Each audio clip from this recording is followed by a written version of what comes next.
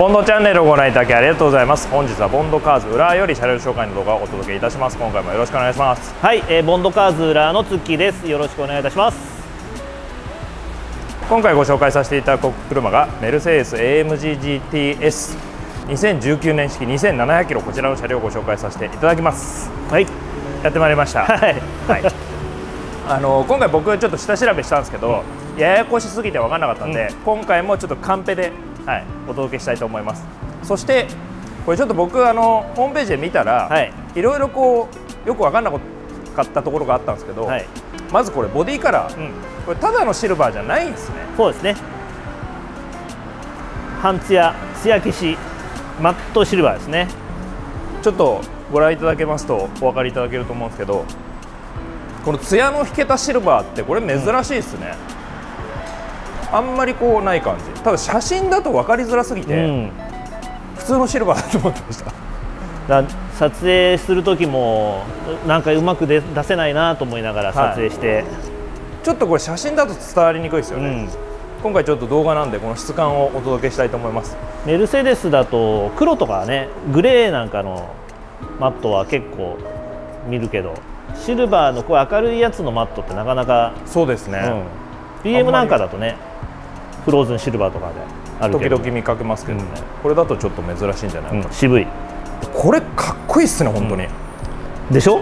かっこいいっす。ね。はい。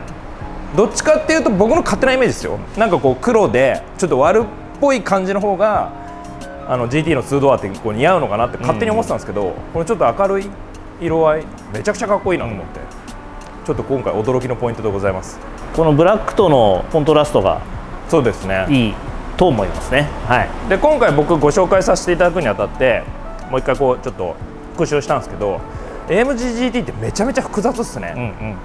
あのマイチェンもあるし、まあ、いわゆる中期に該当するのか、はい。大きい仕様変更が途中あったりとかして、このグリルだけじゃないんですよね見分けるポイントが、うん。このグリルが変更された後に大きいマイチェンがあるっていう。はいで今回ご紹介させていただくのは19年式ということで割とこう現行に近いそうですね。はい。内容のお車になってるんですね。でエンジンも結構こうバリエーションがあって、馬力もこうトップのこう GTR からベースのこの GT からいろいろこう幅があるんです、うん。なのでちょっとこのその辺を今回詳しくご紹介させていただきたいと思います、はい、でまず今回のお車はカーボンのエクステリアパッケージが入っているということでまあこの辺がカーボンパーツがついてたりとか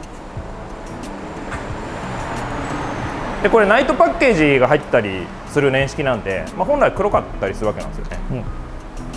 ただ今回の場合はカーボンになってるんで割とこうちょっとこうツヤ感というか、うん。もうボディカラーに合ってるかなと。だとパナメリカーナちょっと僕最近あの普通のダイヤモンドグリルの方が、はい。あえていいかななんて思ってましたけど、うん。やっぱりこのスタイリングだとちょっとパナメリカーうんうんうん。ナしっくりくるというか、もともとちょっとこうクラシカルなところに戻る感じのグリルだったじゃない？でこのボディスタイルがちょっとクラシカルなスポーツカーのスタイリングなんで、まあ、このグリルはまさにはまるかなって。いう確かに、そんな感じが僕もします、であと車のキャラクター的には一応911のライバルというか、うん。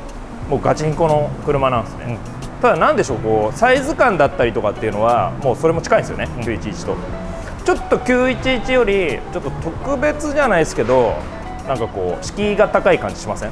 うんでも乗ると意外に、そうなんですよね、うん。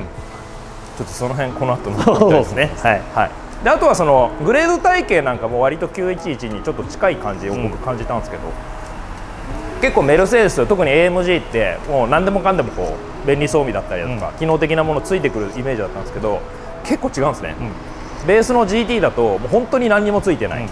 もう言ったらこう素の彼らみたいな状態オプション足してってこうアップグレードもできますけど、で今回ご紹介させていただくこの S って結構こう標準装備のものも多いんですよね、もう S であればまあ大概のものは。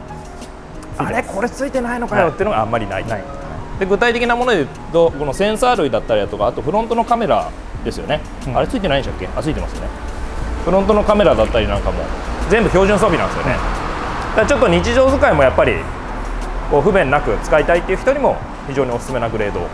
それが GTS 写真で見たりするとこうボリュームが、まあ、フロントも長いし結構でかそうに見えるけど実際こうやって目の前で見ると案外コンパクト。確かに。こそうなんですよね。あとまあ幅さえね。はい、う、うん、幅がちょっとインンパクトありますからね、ただこの幅結構インパクトありますって言ってもこの R と同じ幅の2000超えてる幅じゃないですから。ね、いわゆるこっちはナローなんですよね、でこうグレードによってこう GTC と GTR がワイドなんですよね、2007ミリ。はい。でこっちに関しては1940ミリってことで、はい、微妙にこうリアルフェンダーが。勉強した感が、ね。勉強した感が勉強しました。勉強したんですけど勉強するまでそんなに違いがあるって分からなかったです、はい、ちょっと絶妙なところなんですけど今回ナローなんで、まあ、その辺も使いやすいポイントかなと思いますあとはこのなんといってもこのロングノーズですよね。そうですね。最近このスタイルないですからね。ないですね。本当に横から見るとシートが後ろの後輪のほぼ真上ぐらいなまでぐっと後ろに下がって後ろのタイヤのとこ座ってるって言っても過言でない。このスタイリング最高じゃないですか。もう最近だと Z4 かそうですね。まあ、似たような割と近いロングノーズショートデッキみたいな、ちょっと古典的なスポーツカーのスタイルですけど、ちょっとこれ1台だと厳しいのかなっていう気はするんですけど、やっぱりちょっとこう特別感もありますし。そうですね。はい。まあ、ハマる方にはもう最高の1台じゃないかなと、あと今回足元がちょっと僕これが分からなかったんですよ。何のホイールか。はい。そしたらこれ純正なんですね、純正で弊社でペイントさせていただきました。はい。まあ、本来だとチタニウムグレーのバイカラーのやつですよね、それが今回ピアノブラックにペイントされてるんでちょっと車外感が少し出てますけれども、純正でございます。はい、はい。AMG のロゴも入って。純正の。これ鍛造ですよね。そうです。ホイールが装着されてるそしてこれが GTS 以上は、えー前後異径の1920になるんでフロント19インチや20のホイールがセットされてございます。あとキャリパーなんかも S になると赤くなるんで、まあ、この辺なんかも結構ビジュアル的にもいいんじゃないかな。とあともう一つ大きなポイントとしては S 以上はライドコントロールついてるんで、まあ、乗り心地が車内で変えられると。その辺考えるともう究極の本当にこう吊るしの状態で乗りたいっていう方はもうベースグレードですけどそうですね。はい。やっぱり普通の方はあの街乗りもされる方は GTS 以上がうん。やっぱりマストかな。とこんな感じやってましただとこの辺なんかもこの場所にこのサイズのダクトがつけられるすごいですよねそうね。だってフロンちゃかっこいいです。トのホイールアーチからドアが こんなにあるもんね。本当っすよね。ただ乗るとなんかそんなに遠くに前輪がある感じしなくないですか、うんうんうん。しないですよね。なんだろうね。そのあたりは、まあ、ボディサイズはそんなにやっぱり大きいサイズじゃないので。でましてやこう動かしてみると本当にあれ意外に小ぶりな感じっていうか街乗りでもそんなによっこいしょみたいな曲がってる感じはないですね。ただ外から見るとなんかとんでもなく遠くに前輪があるイメージですけど、乗ると意外にそんなことはない、うん。あとこの辺がしっかりカーボンのアサイとかこの辺もカーボンのアサイとか。あとミラーなんかもカーボンのアサイとか。ベースもちゃんとグロスブラックなんで高級感もやっぱり、そうですね。はい、はい。あっていいんじゃないかな。とであとはルーフがガラスになってるとだとリアが先ほど触れた20インチ。ちょっと前後異形だとやっぱりちょっとスーパースポーツっていうイメージ僕はあるんですけど。そうでこれが吊るしの、えー GD だと前後19なんで、まあ、ちょっとその辺が変わってくると。でリアのこのむっちり感もうん。良くないですか？絶妙ですよね。ワイドじゃなくてもやっぱりこう、うん。まあ、ポルシェとかもそうですけど、まあワイドだったらワイドでなおいいですけど、これナローでもこの絶妙なフェンダーラインめっちゃかっこいいですよね。このなんていうのドアのウィンドウ窓ガラスの後ろからのこう落ち込みで絞りながらのフェンダー残しみたいなね。この辺かっこいいです。で本当になんか911に近くないですか、なんかこの辺のラインって。リアウィンドウのこの傾斜と出具合。でちょっとこのフェンダーが出てるように見えるんで、うん車によってはバックしづらくなったりする車もあるじゃないですか。ちょっとその辺も乗ってみたいと。そうですね。はい。だと後ろがこんな感じで。一応中期以降がマフラーが4本出しになってるんですよね、でも初期初期のだと2本出し。うん。で、まあ、グレードによってオーバルのものだったりだとかありますけど GTS はこの四角いスクエアの4本出しになってる。であとここカーボンいいっすね、うん。やっぱり。これ効いてるよねこれ効いてますね、うん。ちょっとレーシーさと高級感がしっかりあって、これリアもめっちゃかっこよくないですか？このうん。平べったいテールと、これであのフォードア出たじゃない？この後に。フォードアのテールもまあ似て似せてるけどやっぱりこっちテールだけ言えば、そうですね、うん、クーペのテールがかっこいいと思いますねまあ、使い勝手で言ったら圧倒的にまあ街なんですけどね。はい。だ僕欲を言えばもうちょっと下げてほしかったです。ああなるほどね。ちょっと 300SL っぽく。はいはいはい。もっとクラシックさを、だ多分衝突安全とか視認性とかうん。もあって、まあ、現代的に多分リメイクしてこんな感じになってるんじゃないかなと。こんな感じのエクステリアになってます。かっこいいです。じゃあ続いて内装を見てみたいと思います。内装めっちゃかっこいいシート入ってるじゃないですか。いやいいですね。はい、パフォーマンスのシートこれレカロ製なんですよね、うん。で結構こうホールド性ももちろん高くて、はい。まあ、世界が誇るレカロですから、まあ、しっかりこう運転して疲れない姿勢にしてくれると、ちょっとこれは後で座ってみたいと思います、はい。そしてダッシュボードも非常に高級感のあるこのステッチの入ったダッシュボードになってるいいっすね。なんかちょっとこうスポーティーな感じと高級感が融合されてて。そ,、はい。してステアリングも後期なんでちょっとデザインの違うものあと割と機能的なものがデザあのステアリングに集約されてるんで、うん。まあ、使い勝手もあの使い慣れるとすごく楽。あとは S だとだいぶこういろんな機能がついてきて、えーステアリングの調整も電動になったりだとか先ほどちょっと外装でも触れましたけどもパークトロニック、まあ、あとブラインドディストロニックレーンキープなんかのその辺のレーダーセーフティーパッケージ快適装備なんかもしっかりついてくる。そうですね。はい。ちょっと乗ってみたいと思います、あイルミのこのスカッフも入ってるんですよね、今回の車ちょっとまだ保護テープ貼ったまんまですけれども。そして内装はこんな感じでやっぱり後期だとステアリングがかなりちょっと新しいというか。そしてダイナミカとカーボンのステアリングになってると。これいいですねカーボン、うんうん。内装もしっかりこうカーボンが今回の車入ってるんで。エクステリアとのバランスもかなり取れてる感じです。そしてメーターはこっちが12.3インチかな。そしてこっちが10.25インチの。ちょっとこれハイテクな感じしますね。うん。はい。もうでもちょっと見慣れてきた感はありますけどね、他のちょっとメルセデスにも通じる。ちょっと内外装のちょっと古典的な感じからいくと内装全部うん。ハイテクな感じしますそうね。もうちょっとメーターフードとかをうまくクラシカルにこう処理してるとまあでもねあんまり贅沢は言っちゃいません、はそしてブルーメスターもしっかりついてますこれダッシュボードの高級感いいっすね、いうん。で下手な差し色が派手な差し色を入れてないんで、はい。うん、大人な感じがしていいですよね。賑やかな感じはなくていいっすね。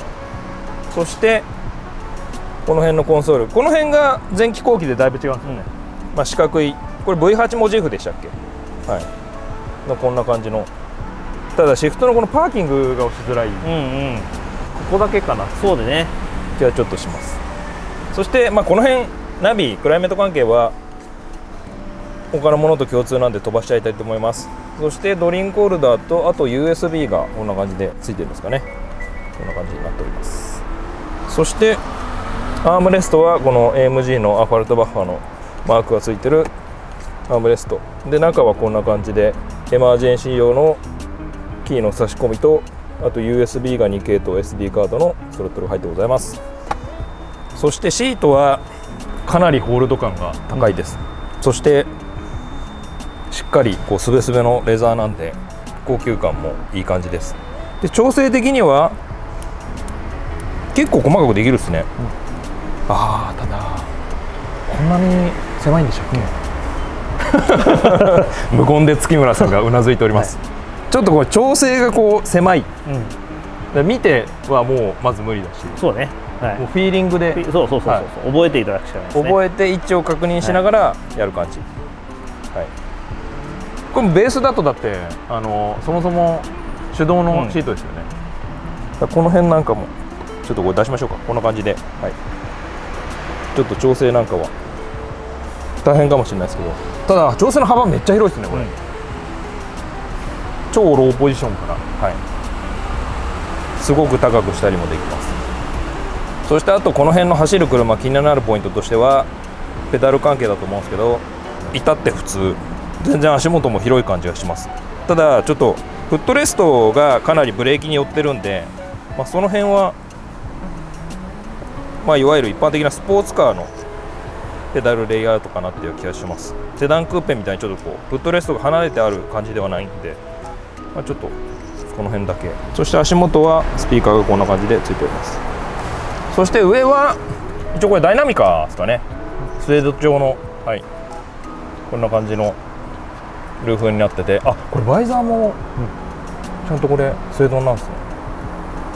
こんな感じで。そして今回の車は外装でもちょっと触れましたけどもパノラマついてますので、まあ、しっかり開放感もございます。で、まあ、手動ですけどこんな感じで閉めることもできるんで、まあ、便利に使っていただけるかなと。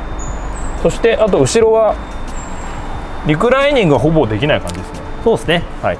ただこうさ一番下げて、はい。リクライニングしようとするとシ座面がこうスーッと前に行きながらはい。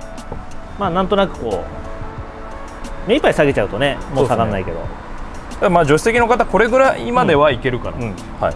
まあ運転席は多分不便ないと思うんですけど助手席の方の使い勝手はこんな感じになると思います。内装こんな感じですじゃあ続いてトランク見てみたいと思います。トランク外から開かないんですね、運転席のそうですね。足元のスイッチで開けていただくか、リモコンで開けていただくか。そして手動ですね。手動です。でトランクの容量に関してはまあまあまあこのなんかスタイリングからするとあるかなって。うん。これ縦に積めばもしかしてゴルフバッグいけちゃう感じですかそうですね。あのーケーマンとかだとここがだいぶせり上がっちゃってるんでエンジンがあってここのスペースがないけどもここはしっかりここのスペースが取れるの確かに。で、うん、ここちょっとわずかですけどトータルで言うとだいぶ違ってきますね、そしてこれがネットですかね。そうですね。はい。こんなのがついてたりとか。あとはトノカバー。巻き取り式のトノカバーがこんな感じで出せる、で意外にちょっと旅行行ったりとか、はい、できちゃう、ん。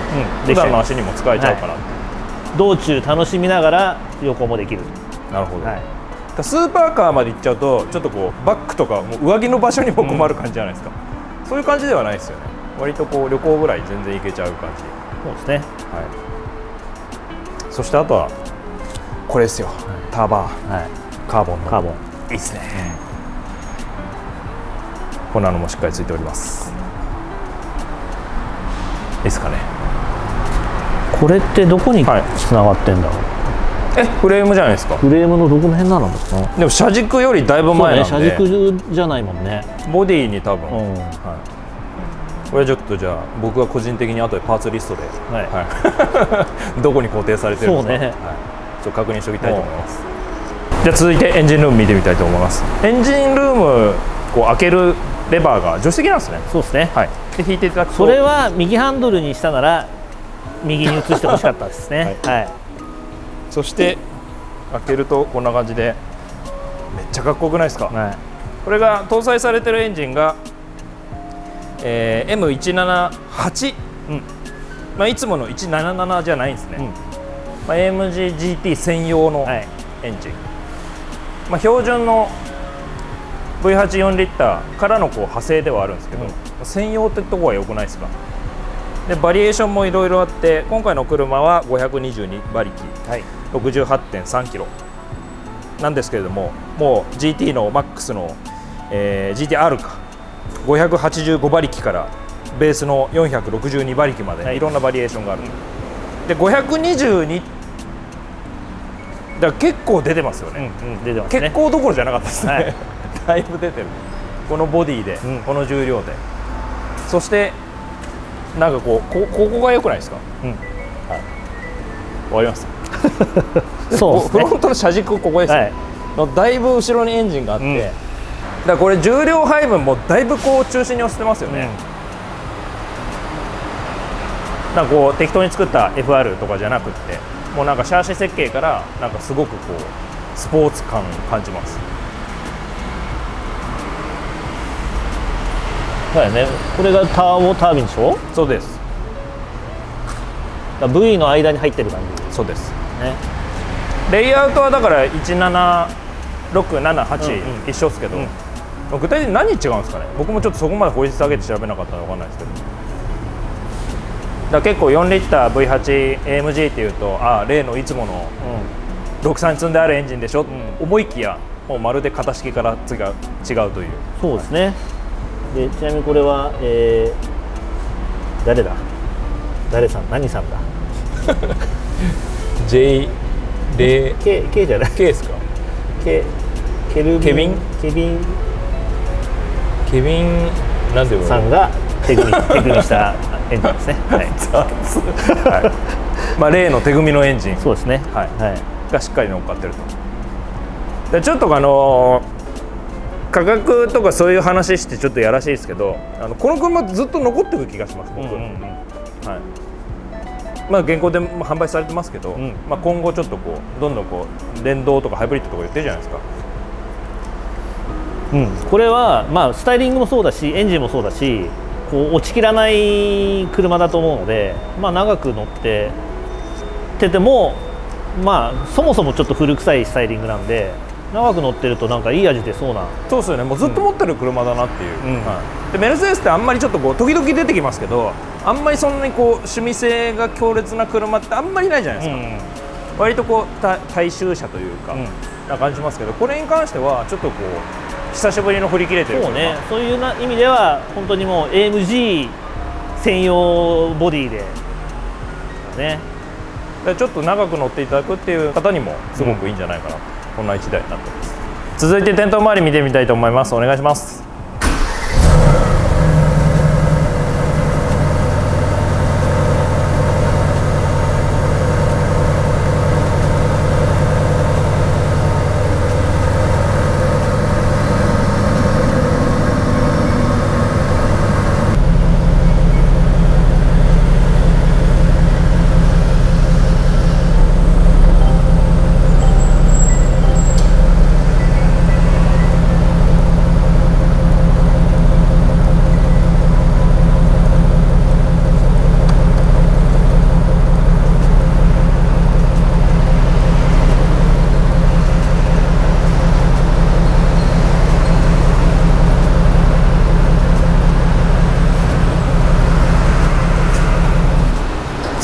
フラーの音も聞いてみたいと思います。お願いします。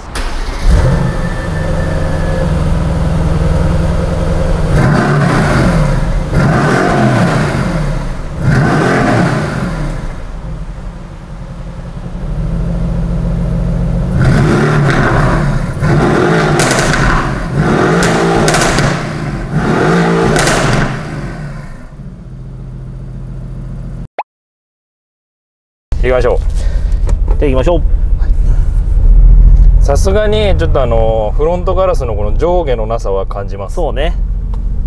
ここの視界めちゃめちゃいいかっていうとうんうん。これはもうスタイリング優先なんでしょうがないかなっていう、そして助手席に乗るとやっぱりこうノーズの長さを感じます、これボンボンネットのこの盛り上がりがねはい、なかなか他の車ではない。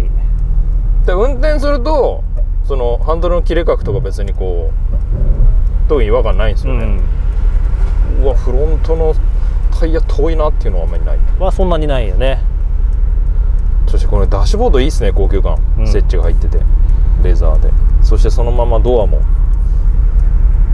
ちょっとこのステッチの入り方もちょっとこうクラシカルな感じしますよね、でこの辺もカーボンがしっかり入ってて。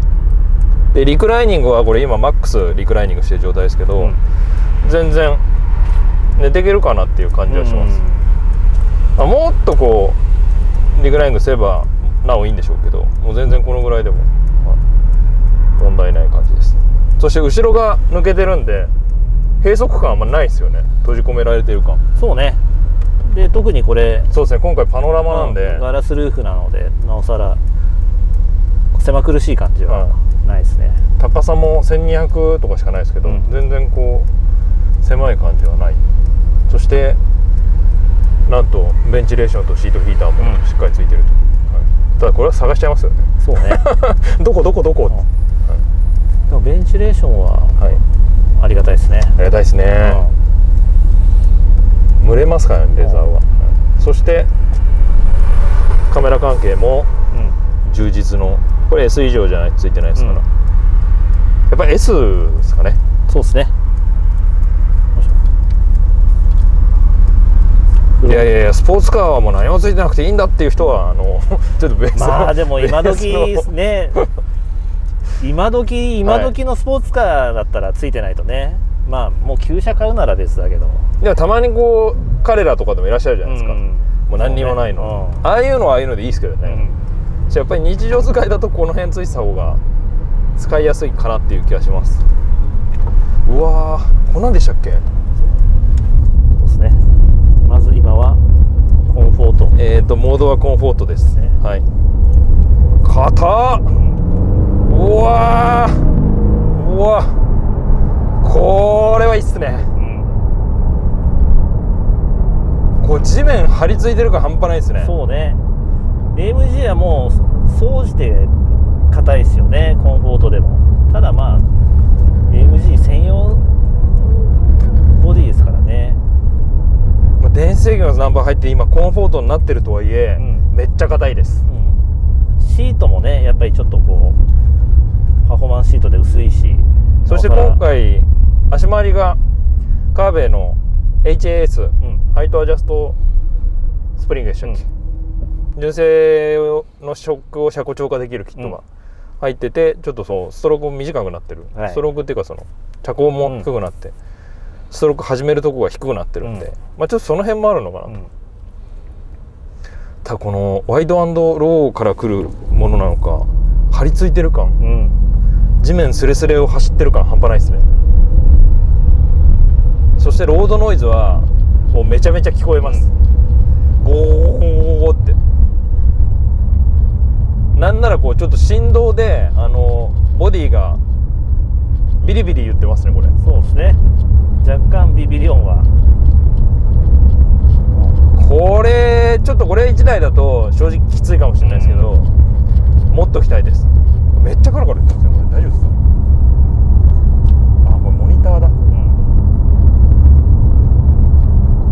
これなんか挟んできてる。うん。これ直せそうですねでも。そして他にもカーボンパーツがふんだんに使われてるんで内装の質感もいいです。うわ。思いっきりスポーツカーですね。ただやっぱはい。りステアリングが軽いのもあるし、はい。こう身のこなしは軽い感じはああなるほど。するけどね。そしてうん。グローボックスなんかは ETC がこんな感じで入ってるだけ容量もあんまないですね。う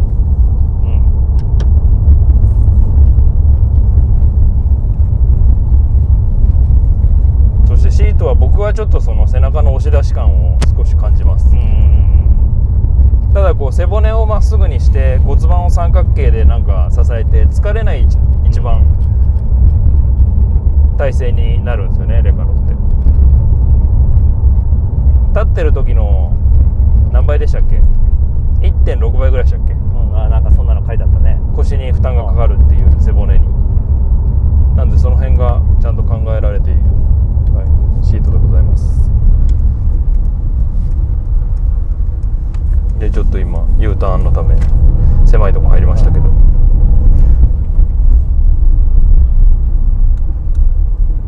なんか実際の数字よりかもちょっとこうワイドに感じますよね、うんで一応、えー S になると電子制御の LSD だったりだとか、はい、その辺なんかもしっかり入ってで走りなんかも、はい、こういう狭いとこから出てく時は若干ノーズの長さはそうですね。感じますけどね。はい。うわ。じゃあそろそろこの車の進化を発揮していいですか、うん。じゃあ次は、はい、モード切り替えて。うん。こっち。え一気にレースまで入れていいですか、ちょっと待ってくださいね。こっちか。うん。スポーツ。あこっちか。こっちの方が分かりやすかったですね。はい。モードがいろいろありますけどスリッピーインディビジュアルコンフォート。さっきコンフォートですよね。そうそうそう。スポーツ。スポーツプラス。うわそうすると自動的にバルブが、うん。はい、開くわけですね。ちょっとこれで走ってみたいと思います。さすがにレースにするとちょっとどちらかっちゃうと商品車なんで、そうですね。こんな感じで。マフラーも勝手に開くと。バブリングすごかったっすね。中で聞いてた時も、パンパンパンパンって。うわ。よりこうドロドロ感が。ドロドロ感が出るね。アップしてますね、うん僕あの以前アリーナ店かなでご紹介させていただいた時もあのちょっとその読み物で書いてあってすごくしっくりしたきたんですけどあのヨーロピアンマッスルカーって書いてあったんですうんまさにそれじゃないですか、そうね。アメリカンマッスルとに対して、まあ、ヨーロピアンマッスル。ですよね。だなんかスーパースポーツイタリアな感じじゃないですよね、うん、そうね。この V8 ドロドロ言わせる感じもそうだし。決して排気量もこうバカでかいわけじゃないですか、4リッターなんで。ただなんかマッスルカーっていう表現がなんかすごくしっくりきました、これもっときたいですね。財力あるならば、うん。そうね。これずっと持ってても、そして MGGT は本当によく見て買った方がいいっていうのがよく分かりました。だってグレード体系もいろいろあるしオプションもピン切りじゃないですか。そうですね、でマイチェーンとその仕様変更のタイミングがややこしい。17年にパラメリカーナになって19年にマイチェーンするっていう。うわー。はえ。はえ。一瞬今後ろ滑りかけたよ。はえ。うわ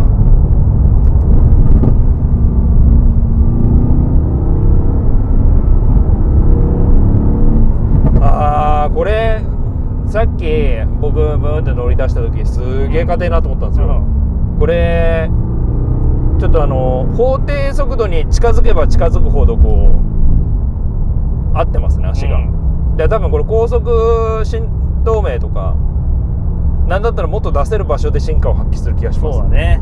急になんか足が動き出しました、うん。ちょ20キロ30キロだとちょっとこの細かい段差拾いすぎちゃって、ううんわ勝ったって感じですけどバイパス60キロになるとだいぶいいっすね。そうね。うん。これ多分だから100キロとか150キロとか、まあ、日本だと出すとこないですけど、うん。そうするとなんか進化を発揮する気がしました、途端に足が動く。いい。でボディの硬さもなんかそこが一番ピタッときましたさっき。ただブルメスターこのビジュアルはいいんですけど、うん。正直ちょっと音楽を聴く環境ではないかなとうんうん思いました、まあしれって流しても使えるんだろうけども。ちょ街の理由がに流したい方はあのー普通にクーペ買った方がいいかなと、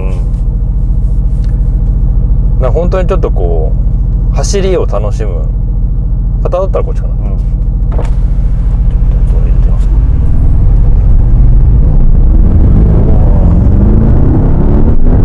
あいえいえ早いです早いしもう蹴っ飛ばされてる感が半端じゃないです。そうね。グーって。これ乗る位置でこんな違うんすね。うん。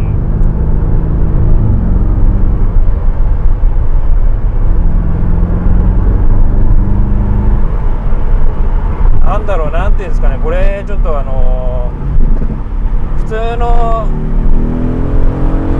うわ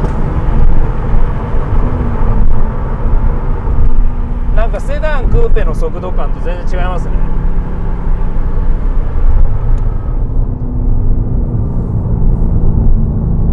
また結構その AMG も上のグレードのやつだとフォーマチックになったりするんですけど、うんどこまで行ってもなんかこのあってこうなんかねこう後輪でこうふん蹴飛ばしてる感じがねすごいすね。他のやっぱりフォーマチックの MG とは違う感じが。後ろタイヤの存在感めっちゃ感じますね、うんめっちゃ感じる。後輪の存在が。そうね。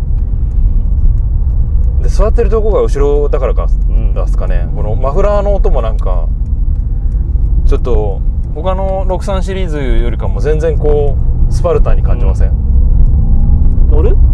乗ってみたいですじゃ行きましょうあうんうわーあこんなんでしたっけ一回多分乗せてもらったんですけど忘れてましたあーこんなんでしたうわーこれすごいなんすかねなんなんて表現すればいいんだろううんじゃあ一個ずつ説明していくと、ステアリングはこうしっとり重いです、うん。そしてフロントタイヤをめちゃめちゃ感じます、ん。遠いんじゃなくて、こうフロントのタイヤが今どうなってるかっていうのをすすごくステアリングに返ってきますね、タイヤがどっち向いてるかっていうのをすごくこう手応えがある。うん。でブレーキめっちゃ効きます、で純正2ピースですもんね。カーボンセラミックとかにしなくても純正2ピース、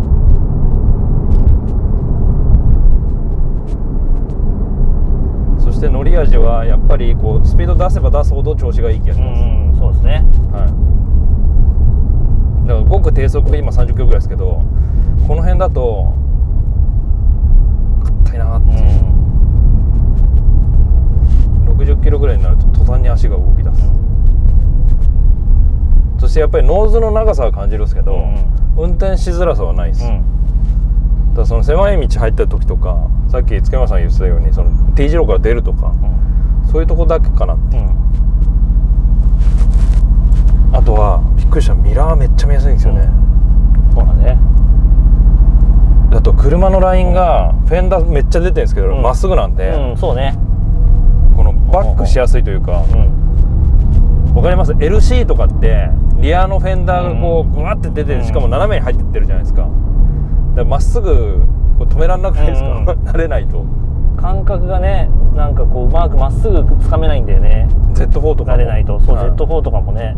だからまっすぐこう駐車場に入れようとしてもなんか斜めに入っちゃうはい。感じが、これ割とボディラインはまっすぐなんで、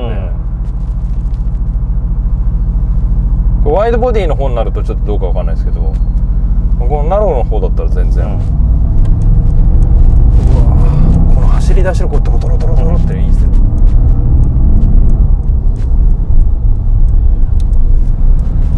じゃあ U ターンしまして、はい、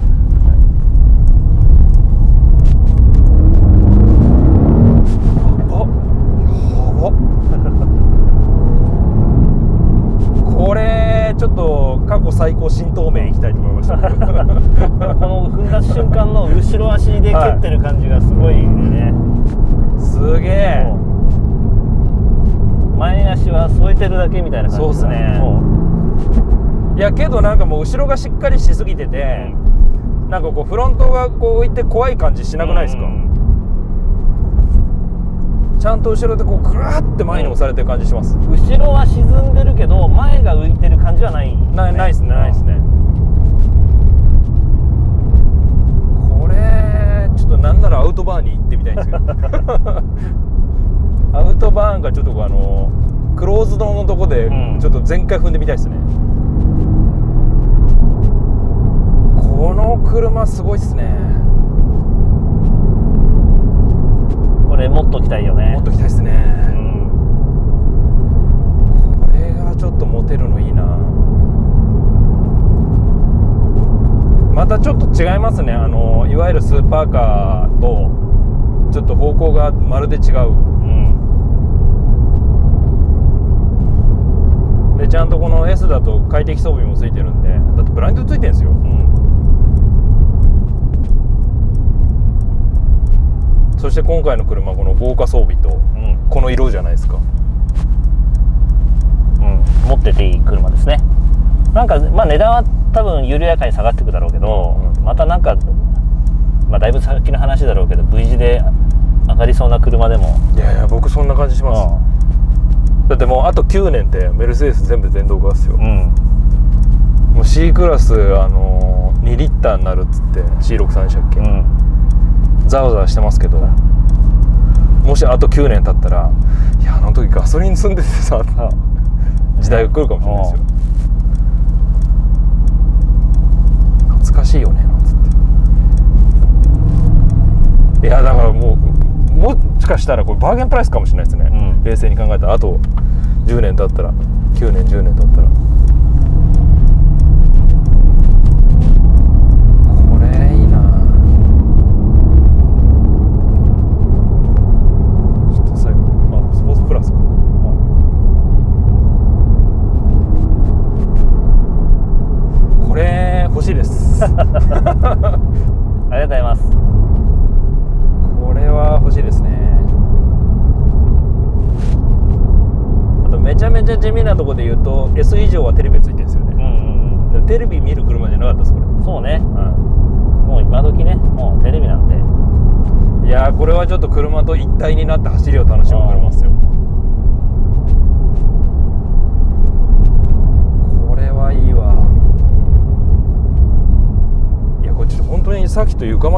ですね。そのサーキットをそんな高速で周回するスキルもないですけどすごくこう全開まで踏んでみたい衝動に駆られます、またポルシェのなんかちょっとこう走って楽しい感じとちょっと違いますうんうね、ん。試してみたいなんか。どんな動きするのかどこまでいけるのか。そうね。こう AMG がスポーツカーを作るとこうですみたいなところなんだろうね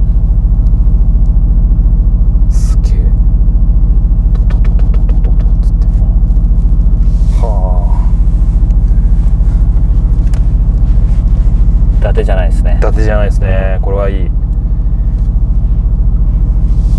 ちょっとあの在庫でふんふんふんって見てて、ん。ちょっと舐めてました。普通のシルバーのうん。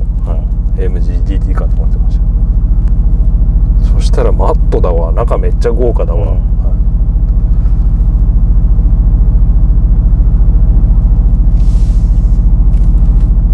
そっかじゃあで YouTube 見な見ながらじゃあカットフカーって人がいるといいけどね。そうですね。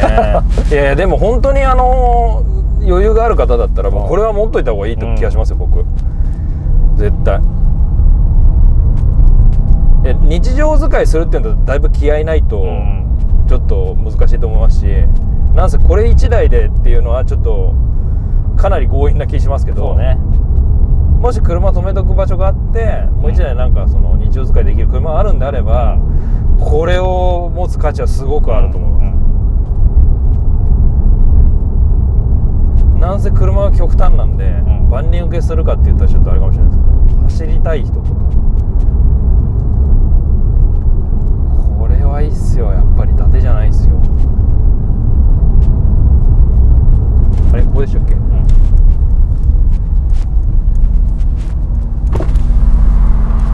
あとは HAS ついてるんで例えばこの今の車高が低すぎるっていう方は調整できますしね。そうですね。はい。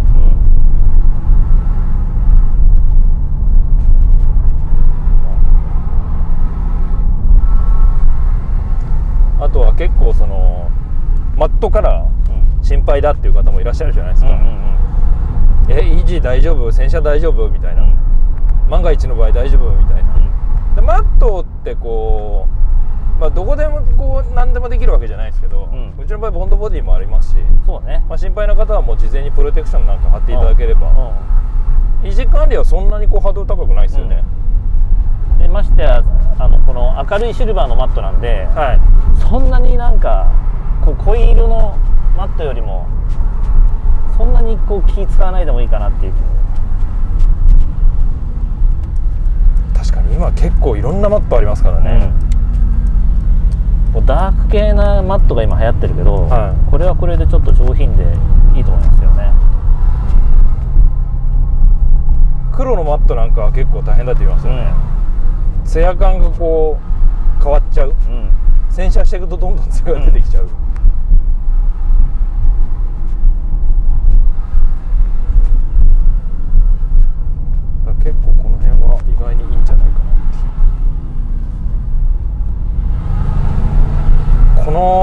住宅地がまあ似合わないこと。狭い住宅地が。これはでもスーパーカーとかスーパースポーツの宿命です、うん。でもこの着座位置の低さはいいよね。ね。雰囲気がね。全然違うよね。あれ一番車高が低いメルセデスですかこれ。全高今ではそうなのかなメルセデス AMG うん。まあそうっすよね、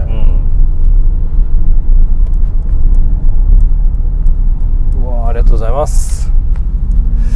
いやーちょマジで AMGGT 欲しくなりました というわけで今回はメルセデス AMG GTS をご紹介させていただきました。車両の詳細は動画の説明欄よりご確認ください。最後までご視聴ありがとうございました。ありがとうございました